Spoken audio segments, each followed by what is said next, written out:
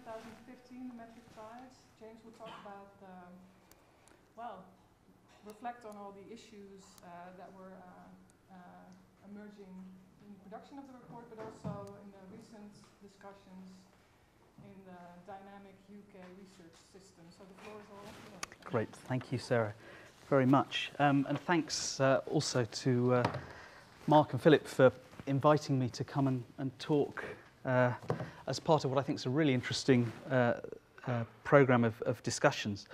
Um, so I want to try and do three things uh, in what I'm going to say now. Firstly, just describe the process that we went to uh, in producing uh, the metric tide report, which, uh, as Sarah says, was published uh, in July of this year.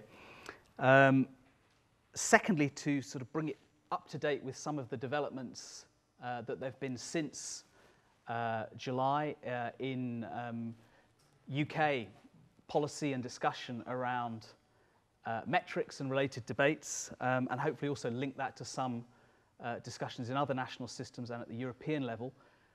Um, and thirdly, to try and um, offer a few more considered reflections on this as a, as a case in progress, if you like, of how uh, you take more critical uh, insights and reflections uh, on uh, the governance of, of and research, uh, the role of metrics within that. Um, many of the excellent points that were made this morning by, um, by Susan and others, uh, how you can take some of those perspectives into the melee of, of the policy debate and try and inject or inflect uh, policy debates with uh, um, considerations that are more sensitive to uh, these, these concerns. Um, I, I, I hesitate certainly to say it's a, it's a case study of success in that regard, as I'll, as I'll describe later, but certainly uh, uh, one in which uh, we've tried and grappled with these, with these tensions. So, a little bit about the, the review, first, first of all. Um, Sarah said it was published in July. Um, the main report, uh, you can see there the blue one, the metric tide, um, uh, was accompanied by two other reports that I just mentioned briefly, a, a, a detailed literature review of, of this whole field, uh, which was uh, co-authored by a team from Leiden um, and uh, Mike Thelwall and colleagues uh, at Wolverhampton in the UK. And I think is quite a useful resource if anyone wants to have a look. I should say all of this stuff is, is open access and online. Um, and thirdly, more for the specifics of the UK policy discussion, this green report was um, our attempt to look at the uh, degree of correlation between the outcomes of the 2014 Research Excellence Framework in the UK, the, the, the assessment framework that we use to allocate uh, block uh, research grant to universities, uh, an exercise which is run uh, primarily through peer review panels uh, to look at the degree of correlation between the, the results as they were and the results as they might have been had uh, we instead used a, a basket of metrics, conventional bibliometrics, citations, etc., and also a few altmetrics. Um, so there are three uh, documents uh, that uh, cumulatively form our response to the challenge uh, that was set to us in uh, the early part of 2014 by the then UK Science Minister, David Willetts, um, uh, who, who, who initiated the review. Um, and I should say it wasn't the, the, the first time this issue had been looked at in the UK system. There was a similar uh, but more uh, contained exercise to explore these questions back in 2007 in the lead up to the introduction of the Research Excellence Framework. Um, and at the time, there was quite a strong push from uh, central government to go to switch to a metrics-based system, uh, and uh, that was resisted by the academic community, particularly by uh, social sciences, arts, humanities, who uh, uh, expressed real concern about coverage and about some of the broader behavioural and cultural implications of this move, as, as, as we've been discussing today already. Uh, and, and, and so the, the switch to metrics was stopped in its tracks. Uh, in 2014, they reopened this question, um, and uh, I was asked to bring together a group of independent experts to look at this issue in the round. Um, I should say I'm not a, a bibliometrician or a scientometrician. I'm, my background's in STS, in science policy. Um, but we assembled, uh, uh, I think, a, a, you know, a good, strong group of uh, uh, scholars and uh, policy practitioners, if you like, from across uh, different disciplines across the system, including representatives of the main national academies in the UK, the Royal Society, British Academy, uh, some of the big funders, the Wellcome Trust, uh, the research councils, HEFCE itself, um, and also people like Phil Campbell, the editor of Nature, sort of bringing uh, a particular perspective from uh, uh, you know, a particular point in the, in the, in the publishing uh, or scholarly uh, communication landscape. Um, so a really good group, and, and Paul Wouters, uh, you know, who works with Sarah, was also part of the group, so we had access to all of the excellent work that goes on at, at, at CWTS in this area. Um, we deliberately set ourselves a broad frame for the review. We didn't want to only look at the particular technical questions that, that attach themselves to an exercise like the REF, the Research Excellence Framework, we wanted to try instead and take a step back uh, in the way that this event is doing to look in the round at the cumulative effects of uh, the metricization of academic life in all its guises, both in terms of research assessment, uh, the increasing uh, power and influence of rankings and league tables, uh, grant income targets, uh, the full panoply of ways in which uh, these debates are playing out uh, on the research side of the system. We didn't really look at, at metrics and teaching, um, and, and, and perhaps that was remiss given what has subsequently happened in, in, in UK policy, which I'll, I'll talk about later. But we were focused on the research side. Nonetheless, we did try and look at you know, universities in the round and how academic life in its broadest sense was being uh, affected for good and ill by some of these trends. So uh, a broad set of terms and refer of, of reference, an attempt to open up rather than close down this space. Uh, we ran the review in a, a, a, as transparent and open a way as we could. Um, we had formal calls for evidence to which you'll see there we had around 150 uh, uh, written submissions and then we ran a lot of events across the research community uh, six of our own review workshops looking at particular dimensions of this debate, uh, the uh, relationship between metrics and uh, uh, equality diversity issues in, in, in HE and research, um, particular issues around the arts and humanities. Uh, we tried to invite in and engage directly the strongest views on both sides of this debate, those who were very pro a move towards metrics and uh, some of the staunchest uh, and most uh, eloquent critics uh, of all of this. Um, we did the literary reviews, you say, we did the quantitative cor correlation exercise, um, and we were doing this at a time when, um, uh, as Susan described this morning, the, the, the Research Excellence Framework had come to a, a conclusion at the end of 2014. The results were published. Um, so in parallel with our work, there was a, uh, a series of more formal um, evaluation exercises that the government, through HEFCE, had commissioned to look at different aspects of uh, the research assessment system. Um, one of the novel dimensions of the REF in 2014, as compared with its predecessor exercises uh, that had you know, begun in the, in the mid-80s and evolved progressively, uh, one, of the, one of the changes in 14 was the inclusion of the impact element uh, in the exercise. So you had, for the first time, 20% of the uh, overall weighting in the exercise being based on um, accounts of broader societal, economic, social policy impact, uh, which were captured in uh, narrative form as case studies, so captured in, in primarily uh, qualitative uh, accounts.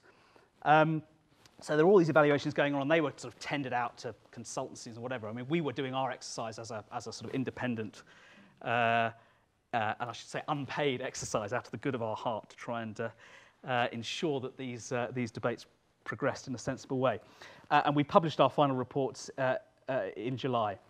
Um, these are just a few of the kind of reactions. One of the nice things about the review, and certainly I was really pleased to see this, was that it did spark a lot of debate while it was going on and, and when we published the report. And these are just a few examples of, does this have a pointer? Yeah. So we had, of course, as you would expect, a lot of uh, uh, input, shall we say, uh, as a euphemism, from, from, from companies like Elsevier, uh, the big corporate players in this whole space. Obviously, they have a lot to gain from moves to a metric-based system, uh, and they produced a, a, lengthy submission as well as engaging in other ways. Um, we had other more critical responses to the, any proposed move towards metrics. This was one that came primarily from the social science uh, community. Uh, as you see there, why metrics can't measure research quality. They ended up with, with in excess of 200 signatories to that uh, uh, critique. Um, this was a response from um, uh, a natural scientist, a, again, quite a prominent science blogger in the UK, David Colquhoun, who's a emeritus professor of pharmacology at, at UCL um, and, and, a, and, a, real character and a fellow of the Royal Society, spends most of his time uh, pursuing and, and attacking uh, what he sees as, as pseudoscience of various forms. And you know, he regards metrics as up there with homeopathy and witchcraft as one of the three great evils, uh, uh, you know, confronting the you know, contemporary uh, academy. So that was, uh, uh, that was, a, that was a, a, a good one. Uh, and then we had others that were a bit more um, open to what I think Mark nicely described in his opening remarks today is that the, the ambivalences in all of this. That, uh, you know, in many respects, the metrics in and of themselves aren't the problem. It's clearly how uh, and in what way they are institutionalized, practiced, uh, uh, how uh, considerations of diversity and other things get included. And so uh, PLOS, I think, is a good example of a, uh, a, a, a corporate response, but one that was very considered and thoughtful. That was actually written by Cameron Neylon, who's a, a you know, prominent uh, actor in the whole open science movement. Um, so that's the sort of flavour, but there's, there's, there's plenty more. Um, I mean, the context for the review, uh, you know, relates to things that you've already heard a bit about uh, this morning from Susan and others. Uh, the REF itself, um, as I say, completed in 2014. You see there the kind of overall headline stats around the REF. Uh, 154 universities having their research assessed. Uh, assessment at the departmental or the unit level. So that meant that there were 1,900 submissions in all, organised under 36 different subject panels, involving uh, not all of the academic population, a slice of the academic population of 52,000 academics, 191,000 research outputs, articles, but also other outputs, monographs, uh, and then from the arts, uh, you know, a range of other uh, modes of output. Um, and then this, for the first time, just under 7,000 impact case studies. So it's quite an undertaking. Uh, Roger, I was talking to him in the break earlier, was, was, was a member of one of the panels, so I can give you a sort of uh, first-hand account of the, the, the horror of the uh, audit machine, the evaluation machine in full swing. Uh, but a big, a big exercise, and out of it we allocate money then for a five, six-year period to universities, and it's quite a substantial proportion. It's about a third of the public research budget in the UK is spent through this mechanism. Uh, so it's, it's, you know, it's around 1.6 billion pounds per year. So although the exercise happens once every six years or so, it then sets budgets which, which remain more or less static uh, over that period. Uh, so it's quite, it's quite a, uh, an important exercise in financial terms, but it also has even more importance these days in terms of uh, uh, you know, performative considerations around benchmarking, comparison, ranking of uh, uh, different subjects across the university system, and the role that the REF plays then as part of this bigger presentation, again, as, as, as Susan described, of uh, uh, uh, you know, more market-oriented face of higher education in terms of attracting students, research grants, staff, etc.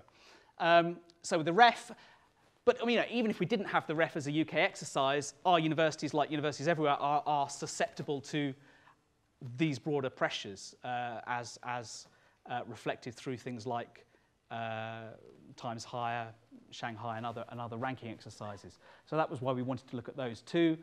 Um, at the same time, in terms of the uh, technical possibilities, uh, as well as the, the, the, sort of social arrangements around those in the, in the metrics arena, we were keen to take a, a fuller look and account of all of the activity that has uh, been going on over the last four or five years under this rather loose and ill-defined heading of altmetrics, alternative metrics. Uh, this is just one example, of a conference that brought together a lot of players in that space uh, a couple of months ago. Um, but uh, you know, lots of interesting stuff going on there, particularly in, in terms of attempts to capture uh, non-traditional uh, forms of impact uh, through alternative metrics. You know, some of which are, are quite exciting in what they're trying to do, as well as uh, raising questions that need careful thought and consideration. So we wanted to look at all of that. Um, and another sort of shaping consideration for the review was the growing um, reaction against uh, uh, the power and inappropriate application of certain quantitative indicators within the research system. Uh, um, one prominent example of which was the San Francisco Declaration on Research Assessment, which came out in 2013 and was focused particularly on the journal impact factor uh, and the, the, you know, the well-known negative um, uh, consequences that the GIF has that we've again heard about in some of the presentations this morning. So we wanted to sort of take account of uh, that building uh, uh body of, of, of, opinion and, and um, activism of varying kinds from within the academic community, try, trying in a sense to say, hang on, uh, uh, we're going too far, too fast down particular directions. We need to stop, take account, and try and improve uh, the way we are approaching and managing uh, uh, research systems. Um, the extent to which these problems are, are deep-rooted and, and you know, systemic uh, is, is, is well known to us. And, and again, we've, we've heard uh, bits of that in, in the presentations already this morning. Uh, one rather silly example that, that sort of brought it home to us as a group was on the day we published the report, uh, I, I wrote a piece in Nature about it, you know, a comment piece. And uh, uh, anyone who logged on to read this piece you know, couldn't, couldn't read the article for, for, for uh, you know, this enormous pop-up box from Nature telling us about its impact factor uh, with incredible precision, an impact factor score of 41.456. One wonders how that difference from one one of 0.457. But anyway, this thing popped up and you couldn't, you know, you couldn't read the article without getting rid of this pop-up box. And of course, lots of people made fun of, of this on, on social media and elsewhere. And uh, I used this at the launch in front of Phil, Campbell, the editor of Nature, was on the group and, and was there at the launch speaking. And of course, if you're inside Nature in the office, you don't, you know, this thing doesn't, doesn't pop up at you. So he had no idea uh, and was horrified. But, uh, it, you know, it was, a, it was a, a, a reflection of quite how, uh, uh you know, whatever individuals might say at that sort of level, in his case, he's very thoughtful and reflective on this topic, uh, what the corporate machine of a, uh, even a company like, like Nature does is, is, is rather different. Um, so, to move on to the, to the report um, uh, and quickly whiz you through some of the findings. And, uh, you know, some of the recommendations are quite specific to the UK system, so I won't dwell on them because I'm sure you don't want to be too uh, drowned in the micro detail of, of the UK uh, research assessment system. But uh, uh, you know, in all of this, you'll see and spot obvious connections and patterns to debates uh, in, in, other countries, as we've uh, again heard today. So headline findings. Um, across the community, the way in which we talk about metrics uh, remains uh, contested and open to misunderstandings. The term metrics itself, I think, is often rather unhelpful uh, and, and uh, you know, to talk about indicators, quantitative indicators, is, is, is more accurate than uh, uh, metrics, but of course metrics has become the way we cluster together all of this in the debate. Um, and there have been lots of good contributions, thoughtful contributions to this, including uh, one that Sarah was uh, a co-author on the Leiden Manifesto, which came out um, just two, three months before our report and, and heavily influenced our, our thinking. Paul Wouters was uh, on our group and, and one of the authors of, of the Leiden Manifesto. Um, and I'm sure many of you here have read that. Um, as is said in, in the Leiden Manifesto, as is said in many other uh, contributions to this topic, including this, uh, uh, also a very thoughtful report that came out a couple of years ago from the Canadian system, the Council of Canadian Academies on Informing Research Choices.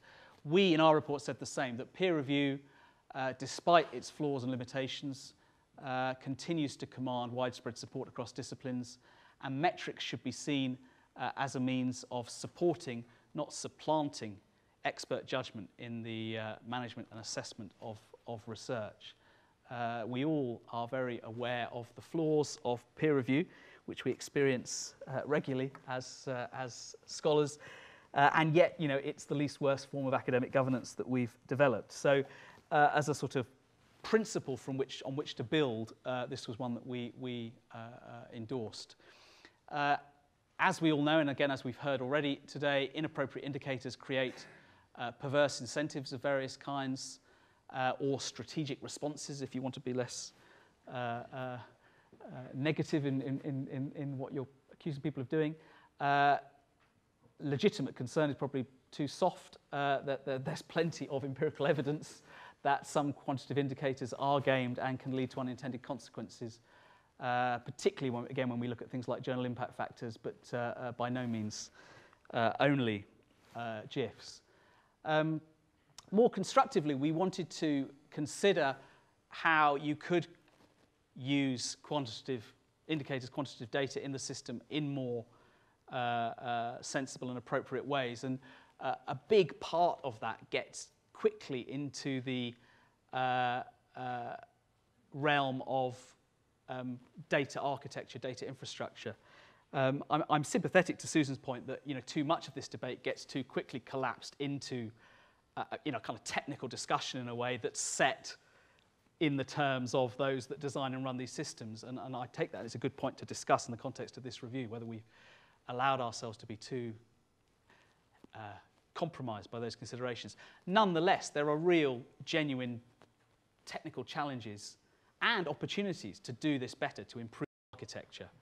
Uh, and you know, if we are seeing moves towards greater use of indicators of metrics in the system, uh, then we have to take some of these challenges seriously. Uh, you know, ensuring that people have ORCID numbers as unique identifiers, uh, ensuring that we do use digital identifiers on uh, non-journal article outputs so that the things that are produced, the things that we do research uh, and produce can be counted uh, if, if we are designing systems that, that, that want to count things. Um, in terms of the ref as a process, our own correlation analysis uh, at output by author level uh, showed in, in high level summary that individual metrics can't provide a like for like replacement for ref peer review. Now, that's not to say that the ref peer review was right and produced the right answer and the metrics are producing the wrong answer, but they certainly produce different answers. Uh, and insofar as the ref as an exercise broadly, and I use that term advisedly, broadly enjoys the confidence of the community, uh, notwithstanding the many specific criticisms people have of, of, of ways it operates. Um, uh, one, therefore, from a policy perspective, needs to be uh, quite cautious about uh, replacing the current system with one that would be uh, metric based. Um, one can, of course, use quantitative data in the system in lots of uh, uh, ways without switching the kind of primary uh, mode of the exercise uh, from peer review to metrics, and I'll, I'll talk a bit more about that. Um, uh, another big challenge in the ref is impact, even if on the output side of the ref, so measuring you know, the quality of research uh, outputs, we could move to a metric-based system. Uh, for impact, it would be uh, impossible given the current uh, range of indicators available. Um, as I say, a huge amount of great stuff going on in the alternative metrics arena, um, but very few of those indicators are sufficiently robust to be used in this way. Certainly, if you're going to attach funding to them, it would be, uh, it, it, it would be very, very problematic. Um, uh, there needs to be more research on all of this. I think that's, and, and it wasn't me saying this from an organisation called the Science Policy Research Unit. Genuinely, I said we shouldn't say this because people will accuse me of special pleading. Uh, but it was actually the natural scientists saying this, that the more they looked into this, you know, from organisations like the Wellcome Trust and considered uh, the complexity of some of these debates, they felt it was important that, that we as a UK system took some of these challenges more seriously. Um, so in terms of where we wanted to go with our recommendations, our main headline uh, proposal was for a framework uh, of what we called responsible metrics, um, uh, a way of thinking about uh, how one could use uh, and take advantage of some of the positive possibilities of uh, quantitative data in the system, but do so in a way that was very alive to uh, the kinds of concerns that are the focus of this conference. Um, and we were drawing here on some of the concepts and frameworks that have emerged through uh, the Responsible Research and Innovation Agenda. We were drawing also on the Leiden Manifesto and other uh, contributions to this debate which had preceded us. Um, and in broad terms, uh, when we talked about responsible metrics, we were looking for metrics that combined these different qualities uh, on this slide that would be robust, uh, best on the, based on the best possible data in terms of accuracy and scope, uh, but would also be uh, humble in recognizing the limitations of uh, quantitative data in evaluation uh, and the role, as I say, of metrics in supporting but not supplanting other forms of more qualitative expert judgment uh, that would be transparent. Uh, it's very important that those who are being evaluated can understand, interrogate, and improve the criteria by which they are being evaluated. So, for that to be possible, data collection and analysis needs to be kept more open and transparent. And it's very interesting when one looks, for example, I mean, some of the stuff Susan was saying around rankings and league tables, at the different uh, rankings that exist, you know, they vary in terms of their transparency and, and amenability to, to scrutiny. Uh, none of them is, is a brilliant exemplar of, uh, uh, of transparency, but some are better than others.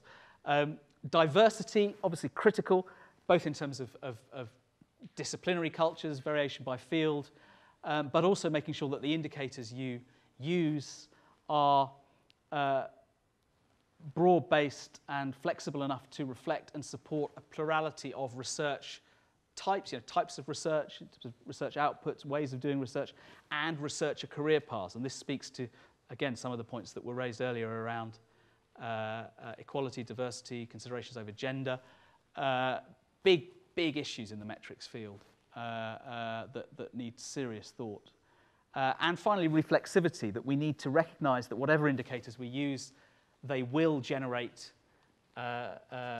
strategic responses of various kinds, perverse or otherwise, um, and therefore we need to uh, recognize that and, where necessarily, uh, update and improve indicator sets in response. Um, when we came then to recommendations, I've not got my, oh, how am I doing for time? Okay, great, I'll, I'll speed up get to So yeah, recommendations I can whiz through quite quickly because they, they flow from those principles. Uh, one that's fairly obvious in motherhood, the research community needs to kind of have a more sophisticated conversation about this uh, issue. And I think um, particularly there's a challenge to move beyond uh, critique of uh, uh, some of these uh, moves in, in, in, in, policy and practice towards um, offering uh, constructive alternatives. Um, I mean, I know that's not easy, and I don't, I don't trivialize the scale of that challenge, but uh, it's quite an urgent one, particularly, you know, as I'll describe in a minute when you see the sorts of debates we're having now in the UK system. Um, university leaders have a real role here.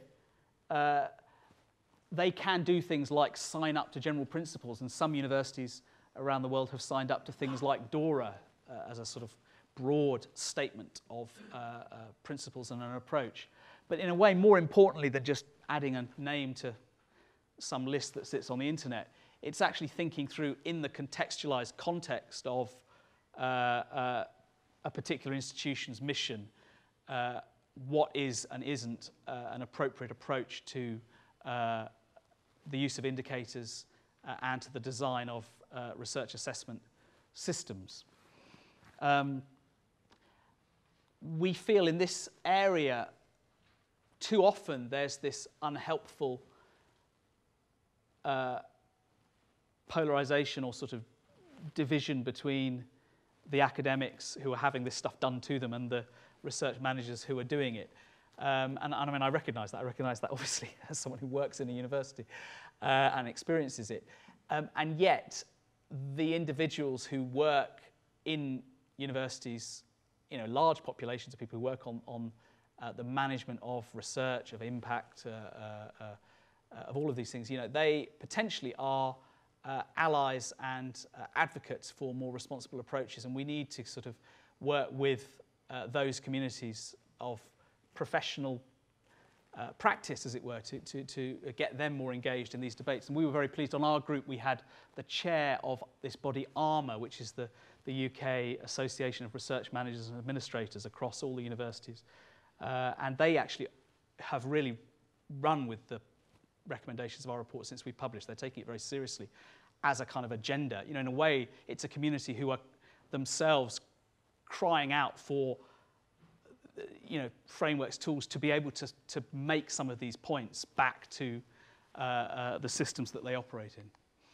Uh, similarly, HR managers, uh, recruitment promotion panels, hugely important in terms of the way in which uh, metrics, indicators are being used uh, often inappropriately. Uh, and again, we've heard some of that in, in some of the anecdotal evidence that was presented earlier.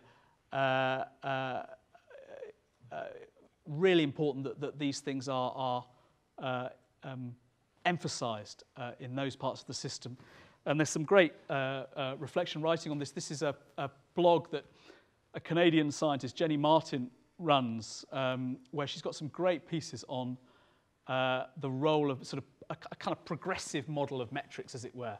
Uh, what things would you count if you wanted to reward and incentivize the kinds of behaviors that many of us would like to see in, uh, in, in universities, in higher education, rather than uh, uh, you know, just going for very narrow uh, JIF-based, H-index-based uh, uh, um, accounts of, of, of success. Um, we as scholars, as academics, are also culpable in all of this, and we all have colleagues who insist on putting their H index in their email signature or whatever it is. We're all, uh, in different ways, at times guilty of making the same shortcuts, the same leaps to uh, uh, narrow use of particular indicators as a shortcut for really doing the work, for really kind of getting into the detail. Uh, so it's important that we all, we all take this seriously. Um, research funders similarly need to think through these principles in their own practice, and some of the funders that we work with have got further down this road than others. Wellcome Trust, I would hold up as a, uh, an example of a funder who I think has uh, really taken some of these issues quite seriously and is looking to uh, embed them in its uh, funding uh, programs.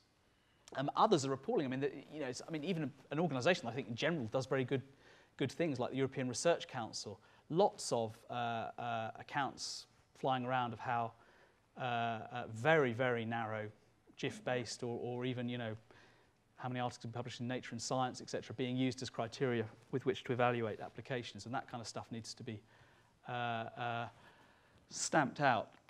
Um, the people who are providing all of this data, the rankings, uh, need to strive for greater transparency and interoperability between different measurement systems. And uh, again, uh, Susan mentioned Ellen Hazelkorn's work uh, as one person who's you know, done some useful thinking on some of these issues.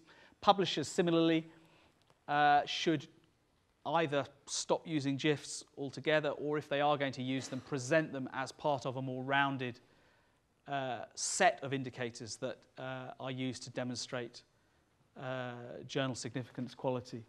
And you have had some journals uh, making positive public moves in this direction. This is one relatively recent example, the EMBO journal, but there, there are you know, several. and some of the newer journals, some of the newer open access platforms as well that are emerging are very explicitly setting out to uh, uh, go down a different path in terms of, of uh, the use of things like JIFs. Uh, more transparency and openness in research data infrastructure links to what I've been saying, and this is a nice statement of that broad challenge, uh, again by Cameron Neylon and Geoff Bilder, principles for open scholarly infrastructure. Uh, and, you know, there are real, again, you know, I think it's more than simply a, a collapse of this back into the technical to make these points. There are, there are uh, uh, important issues of, of principle and design at stake. Um, you know, particularly in a world where we have a few very big commercial providers of a lot of the data that we're talking about here. Uh, Elsevier, Thomson Reuters, Google to some extent, but you know, Google Scholar isn't a, a, a bit of Google that they seem to be investing very much in. Um, some of you will be aware, uh, just a couple of weeks ago, two, three weeks ago, Thomson Reuters um, announced that it intends to sell off the division of its business that includes the Web of Science. So it's the sort of science part of Thomson Reuters. Um, and if, and it's only an if, uh, Elsevier were to buy that, you know, you move from a world of two big providers to a complete monopoly in one company of, of research data. Uh, and I think uh, that may well raise issues in terms of competition authorities. I'm not a competition lawyer, I, I don't know. But it would certainly be of deep concern in respect of the points I'm making here around data infrastructure, because it would be very easy at that point to entirely black box aspects of the system. Uh, in the UK, we said that we as a system need to take full advantage of uh, some of the elements of that data infrastructure, the interoperability. Uh, we thought ORCID, uh, those of you that don't know about ORCID, it's, it's a, a, a, shared open system of unique identifiers. You saw in my opening slide my ORCID number. Uh, some of us may resist being, you know, I'm, I'm not a number, I'm a free man and all of that. But, you know, having an ORCID number is very useful if we want to track outputs through the system in a, in a proper way. It's particularly useful for people who have, have common names. Um, but uh, more generally, it's a critical piece of the plumbing of a good data architecture. Uh, ditto for DOIs. More can be done to invest in infrastructure, this whether at national level in the UK, there's the UK finance minister, or across Europe.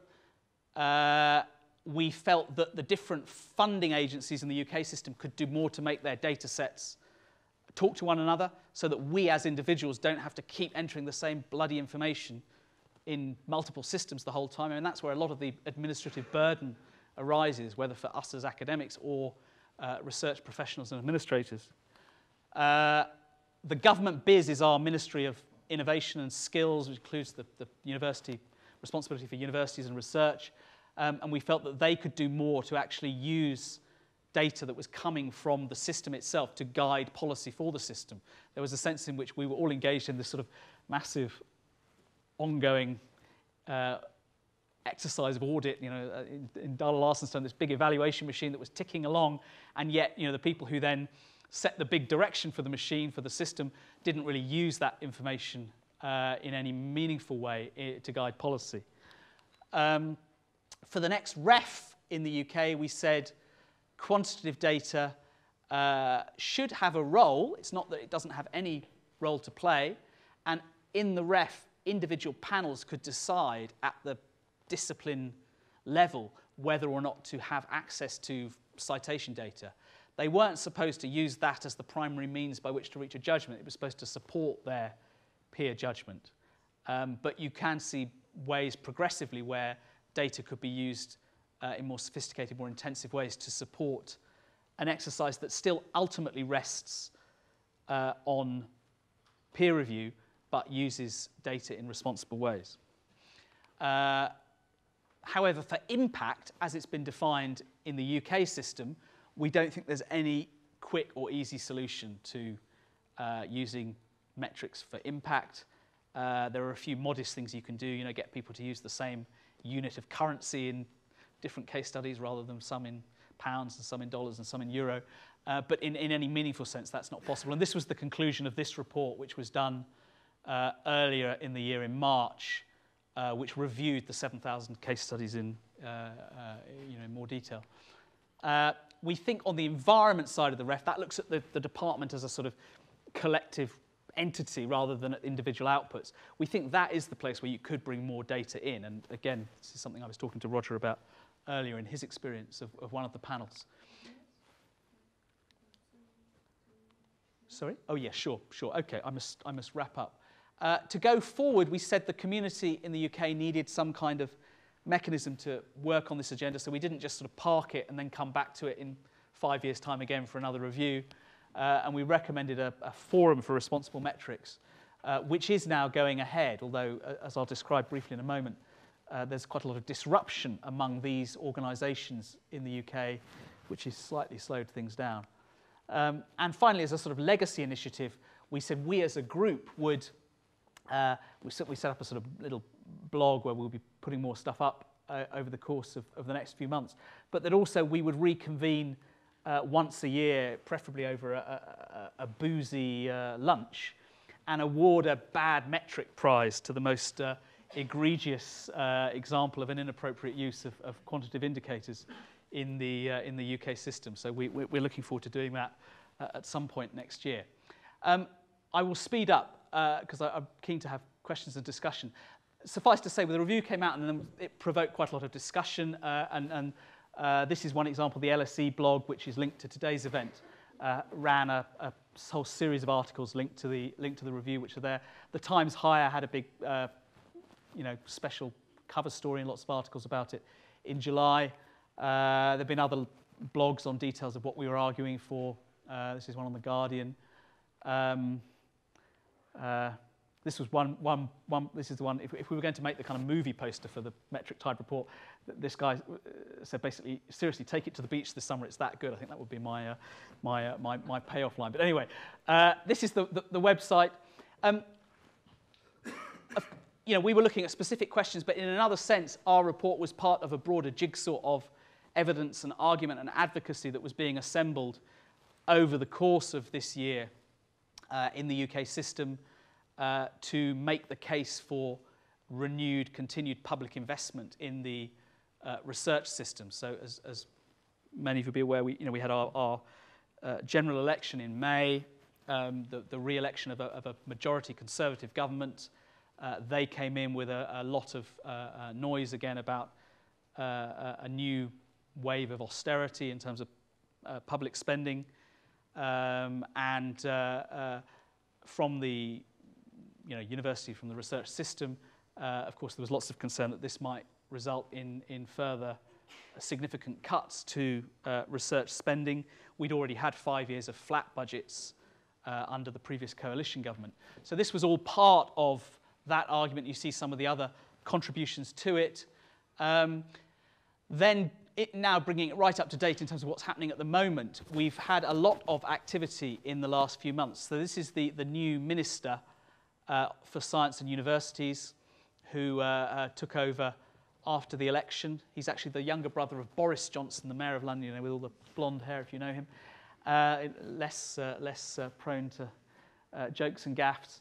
Um, but his obsession since he came in was, was this idea that the system needs to be simpler and apparently it was you know, his first uh, day in the job as minister. You know, the, the, when ministers take up office, they give them their, their, their, their red box of papers. And right at the top, some uh, uh, bright spark in the department had decided to put this incredibly complex diagrammatic representation of the research and innovation system that had come from a, a government study a year or so earlier. And it was the first thing he saw, and you know, apparently this was sort of seared on his brain, and he's made it his personal crusade to simplify uh, but as I'll describe briefly in a minute, uh, I think in toto, the reforms that we're now being confronted with uh, are anything but simple. Um, at the same time, you had a big push from various quarters to scrap the research excellence framework, which chimed with a lot of concern within the academic community about the burden of the exercise, problems with the exercise. Uh, but here you see uh, this is a very right wing free market think tank in the UK, the Institute of Economic Affairs, basically kind of riding that bandwagon of academic disquiet about the exercise and using it as an argument to scrap the ref, but in doing so also scrap the funding that comes with it, which is the block grant that is really critical in the funding system as uh, money to support new and emerging areas of research, really critical in the social sciences, arts and humanities. This is kind of, you know, odd dynamic, whereas some of the most vocal critics of the ref are of, within the social sciences, arts, and humanities. If the QR money were lost, they would, as a community, lose out uh, the most, uh, and yet, uh, and, and others sort of seizing on this as an opportunity. So of complicated politics at play. Um, the department in question, the government, then uh, in the summer called in McKinsey, the, the consultancy, to review all of the funding landscape of the department. Uh, and this was the result, of a series of slides, uh, uh, BIS 2020, what, why, when, how. Um, I run a, a, a, blog on The Guardian on research policy, and we, we, we uh, exposed the existence of the McKinsey Review in the summer, much to the department's uh, unhappiness. They refused to even acknowledge that it existed for several months. Uh, you know, it's just, uh, so they did a review, uh, and that made all sorts of uh, recommendations, basically to cut the number of public bodies in the system. A bit like the Jo Johnson fear of, of complexity. There was a decision that currently we as a department fund 48 agencies, of which around nine are research funding bodies, research councils, HEFCE. Uh, we need to go from 48 to, to 24 or less. And that was the level at which policy at a high level was set, not based on the function and, and purpose of those organisations, on a simple, we need to get them down by at least half. Uh, so that obviously creates quite a powerful dynamic in various directions. Uh, this is something I wrote at the time. You then had in uh, just a few weeks ago in November uh, a big green paper on the future of the higher education system, uh, within which there are lots of proposals for further changes on uh, across the, the board, particularly on the teaching side. And this is where, as Susan mentioned earlier, the idea of a TEF. So we have the REF, Research Excellence Framework. The proposal now is that we also have a TEF, a Teaching Excellence Framework, that will be primarily metric based and will measure and assess teaching. Uh, and this, of course, has sparked a lot of uh, uh, discussion uh, around how you might do that. Huge problems, as I'm sure many in this room are aware, with what indicators you would use to measure teaching excellence, whatever that is, uh, whether you use uh, some sort of learning outcome measure, there's proposals to use the, the, the, the NSS survey. We have a, a, student satisfaction survey, again, that Susan mentioned that they fill in. Um, another measure that's being proposed is uh, graduate income on, you know, after they, after they leave university when they're employed. And that, of course, would clearly create certain dynamics uh, in the system, etc. Uh, so there's lots of discussion, the big reviews going on. I was in front of Parliament, uh, the Select Committee, yesterday morning in London, giving evidence together with uh, higher education trade unions, vice chancellors, and others on the teaching excellence framework and on uh, this whole debate. Um, so I won't go on at length because I'm running out of time, but we've also had a review of the Research Council side of the system uh, by Sir Paul Nurse, the President of the Royal Society. Uh, he has proposed consolidating all of the research councils under one organisation, which would go some way to meeting the BIS 2020 McKinsey desire for a cull of a bonfire of public bodies. Uh, uh, I think there's lots of problems with Nurse's proposals, and that's an article I wrote on this a, a, just a few days ago. Uh, then in the last week, we've just had the budget set for the next five years, so this was just last week. Uh, the result was in some ways better than was uh, feared, protection of the budgets and also uh, protection with inflation in the system. So it's a modest increase in line with inflation. I mean, it, well, it keeps, it keeps the budget in line with inflation, uh, uh, you know, in, in, in real cash terms, as it were, in real terms, sorry. Uh, so that's sort of better. But there are so many changes that are being proposed to the architecture of the system, it's very hard at the moment to predict exactly how it will play out. Um, I chair this thing called the Campaign for Social Science in the UK, uh, and this, the, this was our response to the spending review, which I won't, I won't go through in detail now. Um, as a result of all of this, we have reconvened the group that wrote this report, uh, and we met on Friday last week, uh, um, sort of like a, a, you know, a band getting back on the road, uh, uh, to consider our response to some of these other changes, and we will be you know, publishing further thoughts over the coming uh, weeks. Um, but it's an interesting time, not least because uh, this is an article about this the government has decided in the Green Paper that uh, the answer, in a sense, that we provided here, although it was based on a lot of evidence, a lot of consultation, and as I think I've hopefully presented, trod, you know, a, a fairly pragmatic middle line in some of the, on some of these questions. We hadn't produced uh, the right answer uh, in terms of what they wanted, uh, and they want to go, uh, it would seem, far more rapidly down a metrics-based path. Um, they have just commissioned uh, uh, a piece of work to look at various uh, metric-based options. In the spending review announcement last week. The government announced in the small print another review of the REF, which uh, the details of which will be emerging in the next few days. It's expected that that review will be chaired by a senior figure from the business community who has no uh, direct engagement with the uh, uh, higher educational research system, um, uh, which sort of perhaps signals where it might end up. There is still scope to influence all of that, uh, and, and, you know I think uh, it's not uh, a done deal, but there, there, there, there's a lot at stake when you take cumulative, as I say, changes on the teaching side, changes on the research side, uh, and I think many of us who've been drawn into these debates, you know, by accident or design, are, are quite worried at the moment uh, about where, where things are headed. Um, finally, just to bring it back to the kind of more international, I'm sorry I'm drenching you with detail of the micro detail of, of, of UK research policy. Um, I think it's important to recognise and remember that you know, the, these debates, of course, are happening in, in many, many systems. Um, and uh, I think the points that we try and make in the metric tide, uh, even if we, we haven't won the argument with our own government, may be of value and may have resonance in other, uh, in other systems as well. And I, I just last week I spent a day over in, in Stockholm with the Swedish Research Council, and there they're, they're going through the same debate, a, a redesign of their research assessment system uh, under this heading of focus uh, and proposing a, their own framework, a bit like our REF, with a mix of peer, it's still peer review led, but it also includes some metrics. So there are different permutations and models around the world. And I think one important uh, point is that policymakers and you know, researchers working on this uh, need to contribute to a, a, a, richer comparative discussion of how different systems uh, do work at quite a fine-grained level of detail so that we can try and incorporate the best of what's out there. Uh, our report, going back to where I started, forms part of a building set of arguments uh, in this arena uh, coming from different parts of the academic community. Some, like Dora, have come out primarily from the natural science end of things.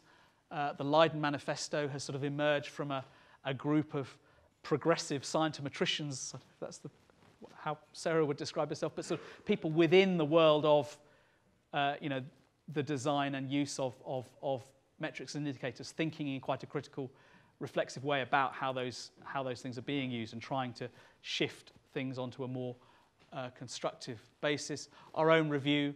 And then in Europe, there's also some interesting stuff kind of bubbling away. Uh, we've had the Science 2.0 agenda, as it was known, from the Commission. Uh, just in the last week, Commissioner Moedas, the Commissioner for Research, has announced a new open science policy platform which will be the kind of think tank bit of DG research looking at the big issues shaping the future uh, of research across Europe and trying to inform at this early stage thinking for the successor framework to Horizon 2020, whether that's Horizon 2030 or whatever other uh, name they can come up with. Um, so this is, is, is, sort of one of Moedas's big priorities. He, he announced a few months ago his three O's, open science, open innovation, open to the world.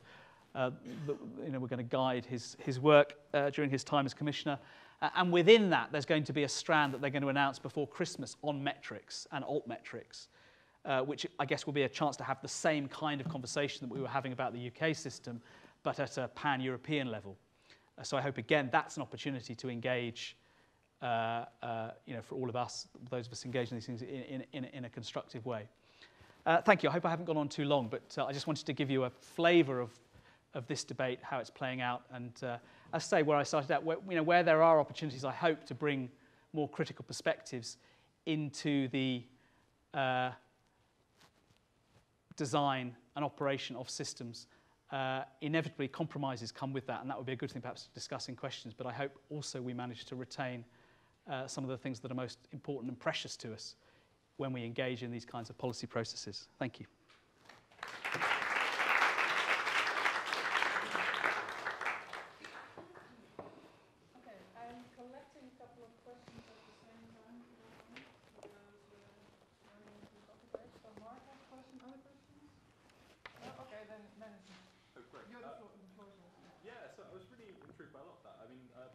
saying about how journals tended to use uh, impact factors for marketing purposes.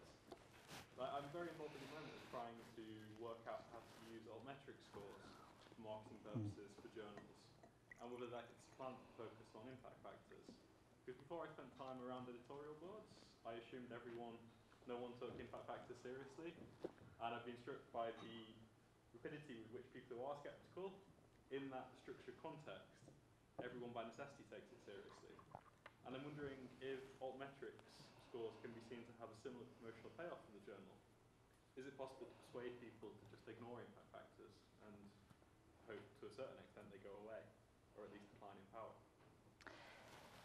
Well, I mean, I, yeah, I, I certainly think one route towards, you know, containing and, and ultimately diminishing the, the, the uh, often pernicious power of JIFs when used inappropriately, as they usually are, uh, is, is to surround them by other indicators, because that will just have the, the consequence of, of diluting uh, the emphasis and impact of, of, of, of one uh, number.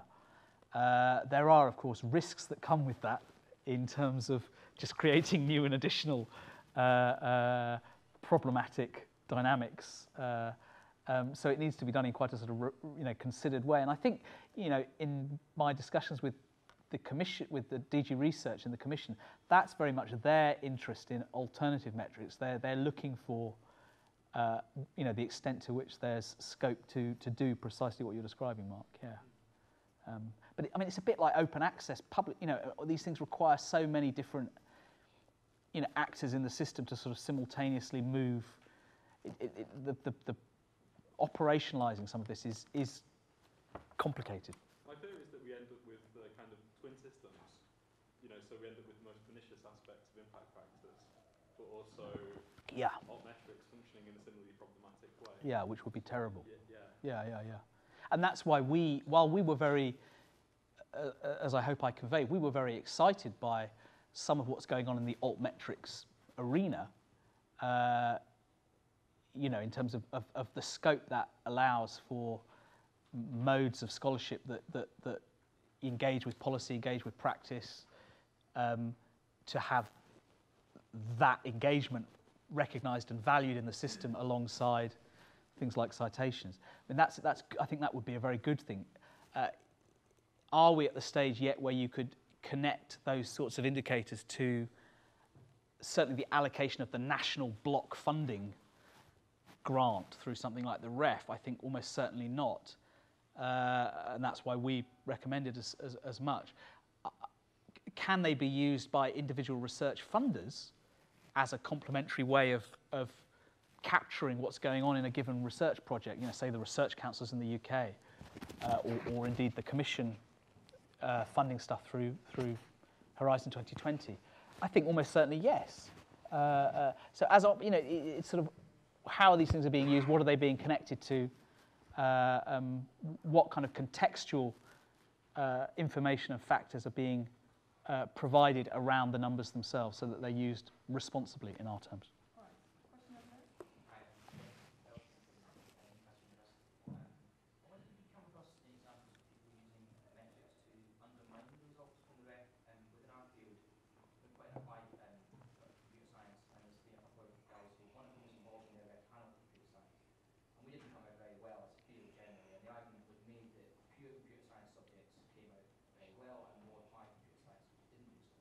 Mm. And what's interesting, he was using citation data and metrics as a way to make this argument. And I thought it was quite interesting in the sense that, you know, rather than necessarily being, because obviously they weren't included in, in, in, in, that, in that as well. So I just wonder if you come across other examples of groups or individual researchers, in a sense then using metrics to maybe fight back or as a stick to hit the REF with.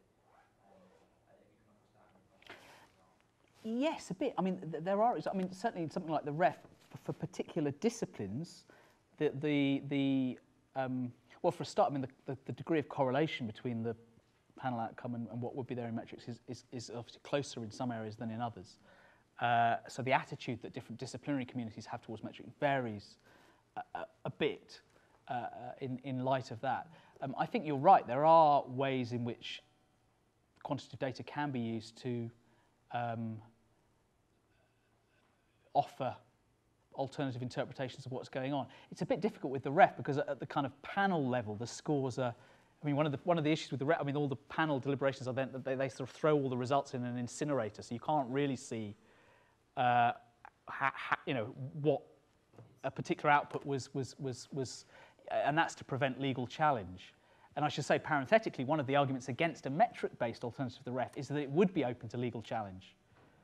Uh, if you as a university felt you know, cumulative you hadn't done as well as you expected or, or at a particular discipline level you hadn't because the, the bibliometrics were wrong, then uh, uh, you, could, you could obviously ch challenge that. Um, so there, but there are examples, and there are also national systems where there's been, uh, Portugal I think is one, one example, where there's been a move towards greater uptake of metrics as a, uh, a bulwark against other forms of, of uh, bias, nepotism, favor, you know, in, in the system. So, you know, to avoid uh, uh, the dean giving the best job to his nephew, uh, a metric-based approach at least gives some kind of veneer of objectivity to, to decisions that might otherwise be. Uh, so, so, you know, I don't think it's, in, and I mean, uh, uh you know, it's a basic example, uh, you, you, know, data, for example, on, on uh, staff salaries and stuff. There are examples. McMaster University, I think, was an example in Canada this year that uh, you know took that data and recognised the degree of uh, gender discrimination at play in its in its pay policies and gave all of its uh, women academics a, a I can't remember the number, 12%, 15% pay rise, you know, in one, uh, you know, so I mean that, there are, you know, I mean, indicators are indicators. They're not and I think this is part something we have to sort of try and move away from in this debate is sort of, you know, giving the, the indicators a sort of power that they don't necessarily have. Uh, uh, it really is about how we use them, uh, what, what, uh, and, and, and how much diversity we have in the system in terms of the range of indicators that we draw on in, in, in, in uh, making judgments and the balance overall between quantitative and uh, other modes of uh, evaluation and decision making. Okay, final question by Teresa and then we'll move I would like to ask to what extent predatory journals are concerned in, in UK context because they are quite a concern here nowadays. Uh, because some of these journals, they made it to Scopus, for example, and then they have really high status um, in the current, uh, you know, in, in research evaluation system here?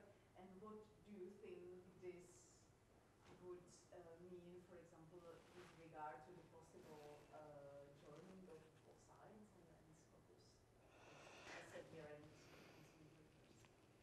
Well, yes. I mean, no. I mean, I think predatory journals are a concern across, you know, across science in, in its broadest sense. Uh, um, uh, you know, and the kinds of behaviours that we see in, in many journals to, to boost impact factors, um, uh, you know, which have been well documented and well known. I mean, you know, every few weeks there'll be a particularly extreme example of, of inappropriate malpractice that draws enough attention to mean that that particular journal gets shut down or reprimanded or whatever something gets but but you know the the bulk of what's going on is sort of you know, we all are aware of it in the context of our own disciplinary communities.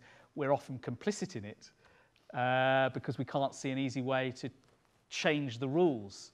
Um, uh, it's one reason I think this debate also needs to be viewed in tandem with the broader shifts that we're seeing in the landscape for scholarly communication. I mean, open access and all the related debates, open data, because I think um, uh, you do see there at least the, the, the glimpses of possibility of alternative uh, uh, routes to publication, uh, better rather than worse. And you know, there are going to be these, these citadels, as it were, of, of metric concentration and power in the publishing landscape for any individual discipline for some time to come. But that doesn't mean that we can't be busy building alternative encampments, more open ones around, uh, which, to which gradually more uh, thoughtful, enlightened people will hopefully migrate. But this, you know, this requires more than the individual academics. Of course, it requires back to things like promotion panels, recruitment panels. You know, y- i- i- it is a, it's a, you know, difficult systemic issue. On that note, I say we close the session. Thank you very much, Jen. Thank you.